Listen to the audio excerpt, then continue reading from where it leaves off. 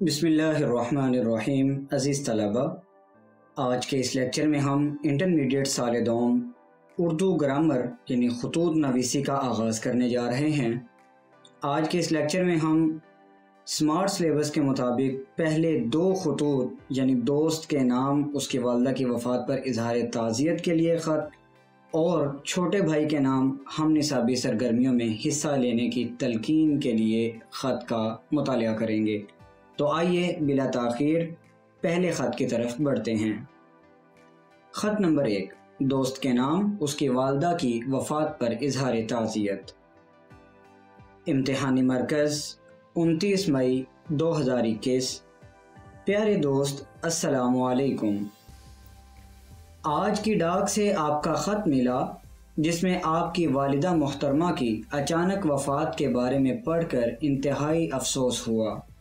इन्ना लिल्लाहि व इन्ना राजिऊन मरहुमा एक नेक दिल खातून थी। मेरे साथ उनका रवैया हकीकी माँ जैसा था।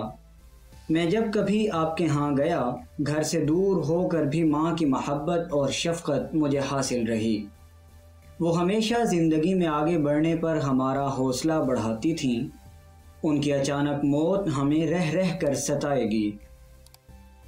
उनकी जुदाई के सदमे ने आपको और मुझे बराबर मुतासर किया है। दुनिया में माँ से ज़्यादा हमदर्द कोई रिश्ता नहीं होता। और यही रिश्ता अगर हमसे छीन जाए तो इससे बड़ा कोई सदमा नहीं है। प्यारे दोस्त, मैं जानता हूँ कि ये सानहा आप और आपके ख़ानदान के लिए नाकाबिल तलाफ़ी नुकसान है। मगर कुदरत के उसूल अटल हैं। और हमें हर हाल में इनके सामने सर तस्लीम खम करना है। खुदावन करीम उनकी मगफरत फरमाए, उनको अपने जवार रहमत में जगह दे और आपको सब्र जमील बख्शे। आप घर के बड़े फ़र्द हैं।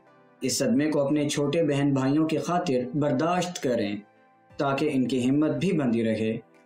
इस सदमे में मुझे अपना गमगुसार जानिए।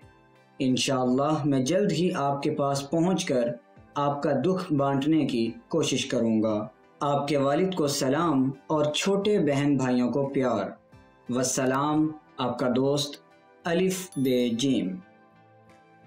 अज़ीज़ तलबा, आइए अब छोटे भाई के नाम हम निसाबी सरगर्मियों में हिस्सा लेने की तलकिन के लिए ख़त का मुताल करते हैं। इम्तहानी मरकज़, उनतीस मई दो हज़ार इक्कीस। प्यारे भाई असलकुम तुम्हारा ख़त और इम्तहानी रिपोर्ट मौसू हुई। मुझे ये जानकर बेहद खुशी हुई कि जिस मकसद के लिए वालदेन ने तुम्हें खुद से जुदा करके लाहौर जैसे अजनबी शहर में भेजा है, तुमने उसे भुलाया नहीं।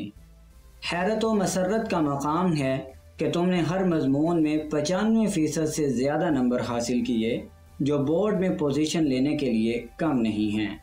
अज़ीज़ मन एक बात मेरे लिए परेशान कन है, वो ये कि तुम अपनी सेहत का ख्याल नहीं रखते। दिन रात पढ़ते रहते हो, गोया तुम किताबी कीड़े बन गए हो। ये वजह है कि मेहनत कामयाबी की जामिन है, मगर ऐसी मेहनत का क्या फ़ायदा कि वह इंसान को बीमार कर दे और मेहनत करने के काबिल ही ना छोड़े।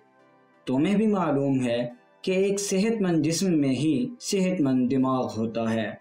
लिहाजा कोई बेवकूफ़ ही होगा जो सेहत को भुलाकर कामयाबी के पीछे दौड़ता रहे। भाई, मैं तुमसे कहूँगा कि अपनी सेहत का मुकम्मल ख्याल रखो, जिसका बेहतरीन मसरफ हम निसाबी सरगर्मियों में शिरकत करना है, जो बज़म अदब और खेलों पर मुश्तमिल है।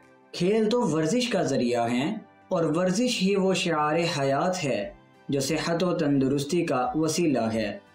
तुम्हें खेलों के साथ साथ मुख्तलिफ़ इल्मी और अदबी मुबासों और तकरीरी मुकाबलों में हिस्सा लेना चाहिए।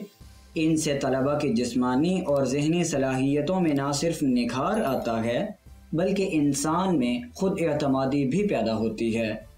याद रखो, अमली ज़िंदगी में वही लोग कामयाब ठहरते हैं, जो दौरान तालीम गैर निसाबी या हम निसाबी सरगर्मियों में हिस्सा लेते हैं।